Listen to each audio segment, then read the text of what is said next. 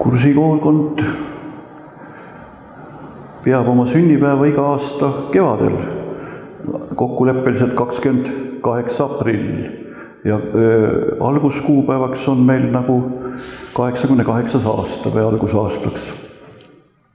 ja kokkusaamine oli kahes etapis, Panksepa ja, ja, ja Alberti ja Pri- ja Peetriga, nii et, et neli asutajaliiget ja saime kokku Tartus, siinsamas Vanemuise tänaval. Priiduga siinsamas majas ja Peetri ja Albertiga Vanemuise teatriparklas. tudengilaat oli lihtsalt, mina Peeter Allikuga müüsime oma kunstiteoseid. Peeter Allikul oli juba neid kunstiteoseid piisavalt. ta juba kunstikooli õpilasena oli iseseisev kunstnik ja maalis pioneere ja pasunapuhujaid ja, ja imeilusaid vassilissasid. noh, ja mina hakkasin Peetri eeskujul väikesviisi joonistama, kuna mustvalge pliiatsi joonistus tundus odavam kui kallid õlivärvid, mida ka jaokaupa anti õpilastele. nii et siis mina müüsin odavalt väikseid pliiatsi joonistusi, no sellised karikatuurised. Elu ja kunst ja kõik maailm tundus naljakas võrreldes praegusega, aga ma arvan, et ega sama naljakas on ta praegugi. ise ei ole enam naljakas. noh, nagu kolmkümmend viis aastat vanem.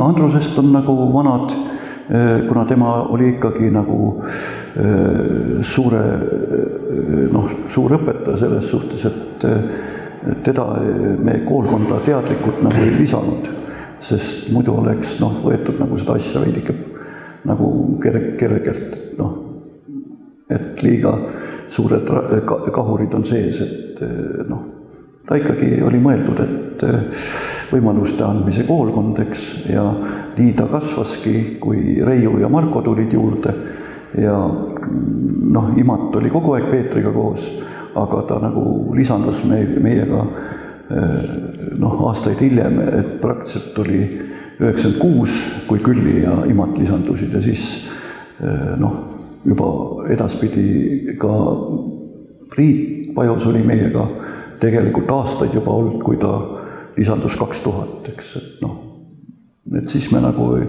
ei hakanud lihtsalt mehaaniliselt võtma siia juurde, et see ei olnud mingi aktsiaselts ega mingi osaühing ega mingi MTÜ, et noh, teeme siin mingit, tõmbame ringi suureks, et tegime oma seltskonnaga nagu tihedalt koostööd ja, ja need näitused, mis, see on nüüd üheksakümne teine näitus, et näitused on tasapisi tulnud ja ja vanasti oli kena traditsioon, oli iga kolme aasta tagant teha kursikoolkonna päevi Tartus. me seda päris esimest korda ära ei lugenud, kui me Alberti ja Priiduga olime ja Peeter, Peetri armsad õpetajad Peetrit ei lubanud kunstnike majas töid välja panna, kuna tookord õp-, õpilane ei tohtinud esineda kunstinäitustel, siis Peeter oli meil raamatukogus ja seda esimest kursipäevi me ei lugenud kursipäevadeks, mis tegelikult olid üheksakümmend olemas. aga üheksakümne kolmandast peale, kui Peeter kooli ära lõpetas, siis me ikkagi hakkasime lugema seda, sest tal oli viies kursus küll, aga siis nagu väga kallale enam ei tuldud. nii et, et üheksakümne kolmandast peale lugesime neid iga kolme aasta tagant ja nüüd edaspidi siis, kui sai kolmkümmend täis selle kolme aasta tagant lugemisi, siis kaks tuhat kaheksateist, siis me hakkasime viie aasta tagant tegema, et